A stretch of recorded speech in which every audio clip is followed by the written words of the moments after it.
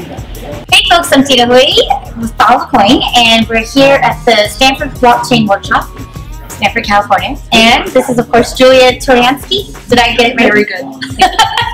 Please explain uh, who you are, what you do, um, and yeah, we want to get to know you better. Um, I have a website called bravetheworld.com, and I guess the best way to describe me is uh, as an anti-state propagandist, and I'm very into Bitcoin because I think it's in line with my uh, morality.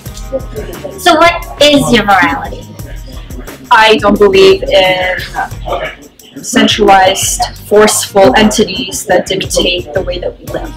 And the blockchain and Bitcoin, which is offered on the blockchain network, is something that allows us to make a choice about how we with each other, not only financially, but how we uh, communicate with each other uh, later down the line. Because I think the tech is, it's got more use cases than just being monetary. But when I say that, it's almost a contradiction because you know, economics is human behavior and interactions. So everything is inherently monetary. So it's one and of the same. Right. So, what is anti-statist propaganda?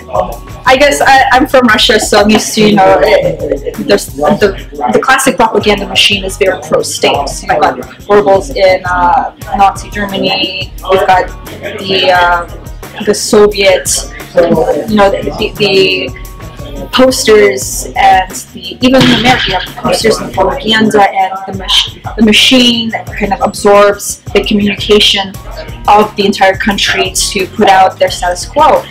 And it always leads to very bad things and if we could change that and give give information and the ability to be independent when it comes to monetary transactions which is what interaction revolves around ultimately what fuels it because it gives us incentives it empowers people Right. No, makes sense. Um, freedom of choice or Yeah. freedom of religion. It's all these things the Constitution kind of, sort of loosely says you can have, but you don't really Yeah. I- patriotism. yeah, I think with something with technology that we can actually use towards the means that we want to use it for without being told how to use it is what will ultimately free us because a piece of paper doesn't have that ability and it can be misinterpreted. Uh, but you know, the court space right now is very I mean, I think it's being derailed. I think the original ethos of Bitcoin, which is very Austrian school and very freedom, uh, pro freedom, is being derailed. And that's not only via regulation, but via the corporate world the startup world, because ultimately most corporate uh, entities, uh, their end goal is to make money and to uh, to to, to make more money, you often have to, the best way to make more money, you often have to comply with regu- regulatory bodies, which, you know, the government and the corporate world fuses into a single entity with a single goal, whether they realize it or not. So, I mean, I'm, I'm very worried about the space. How do you find it uh, avoidable? It's like kind of unavoidable. In Right. order for it to be seen as legitimate, Because we're, it has to. yeah, we're born into the structure, and how do we circumvent that structure? Even we're having these tools now, and we're still falling into the same exact thing that we've seen over and over again. We know it doesn't work. We know it always leads to violence. We know it leads to trading off freedoms for other hypotheticals, and we still do it over and over again. And I find that the space is falling victim to this because of our uh, voluntary actions.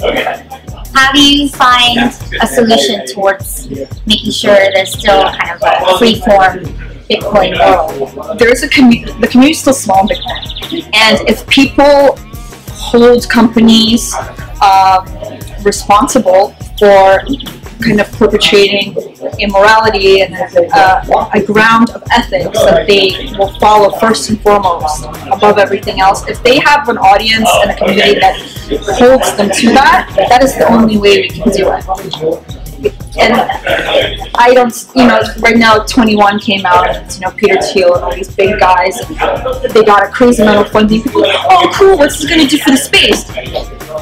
I am very certain that they have absolutely no moral qualms in trying to monopolize the space. And Peter Thiel, in his book, talks about, he claims to be a libertarian, he talks about um, natural monopolies and how they can be great. And the best way to do it is to find a niche market. Another way to do it is of course, by providing uh, a better service than everyone else.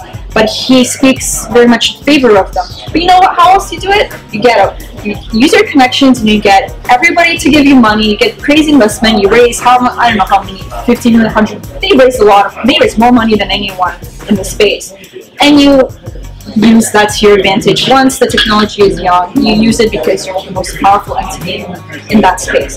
That's how you get a monopoly. And I think that's what they want to do. They want to use their uh, power towards making the most money and being most influential in the space. And if they think that they're going to have a moral ground for that, I don't think so because Peter Thiel supports politics. Right. Well, playing devil's advocate, right? Can it be argued that everybody who is in Bitcoin is interested in money and hence a capitalist? No, that's great. I'm a capitalist. Um, but I think if you that's not being a capitalist isn't inherently negative. You just don't like the Yeah. monopolistic. Yeah, being, being a capitalist isn't inherently pro-government. I am anti-government. I am pro-capital. Now, when capital is dependent on submitting to government and submitting to regulation or stepping on everybody else because they got ahead by doing that already, that is not a free market system. Right. That Well, is you- not the same thing. So you're pro collaboration, but anti monopoly, right? I yeah, mono- monopoly, national monopolies happen because they offer the greatest product.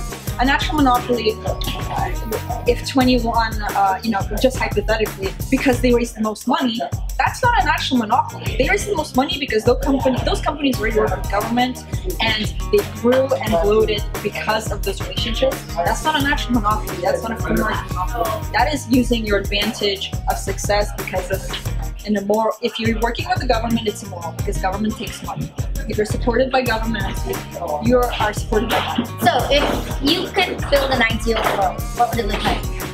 well i guess I'll, I'll, that's a huge question so I'll, I'll stay in the Bitcoin. bitcoin um, bitcoin is supposed to be decentralized and we know that has scalability issues but i think we have to deal with that if we want to keep it decentralized because that is the difference between and other monetary platforms right and uh, again not purely monetary but i already covered that um, it is you can't have a monopoly. You have miners, you can't have a monopoly. And that's been that we've been, talking about that percent attack, all of this. This is a fear that everyone has. So I've been there's positive things, you know, when it almost happened, people pulled together and you know went against it and there's like this is what I'm talking about, the community still kind of inherently aligned with what the group is supposed to be. When that community switches gears and we get the more mass adoption and they don't give a crap about anything that I just said, we're gonna go into any direction that this free market puts us into.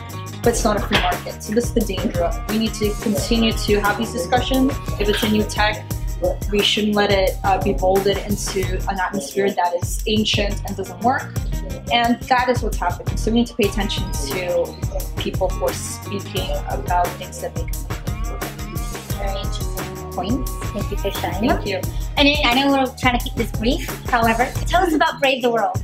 Um, so it's a play on words from Brave New World because uh, Huxley predicted this environment that we are living in today, this brave new world. Let's not succumb to that. Let's brave the world and do something that's not that.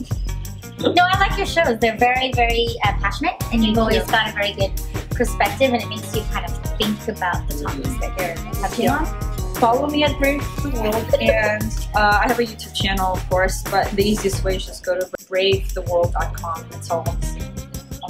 I think you're one of the more important voices in this ecosystem. So thanks for staying around and braving the world Thank you us. very much. I'll continue. Bye, guys.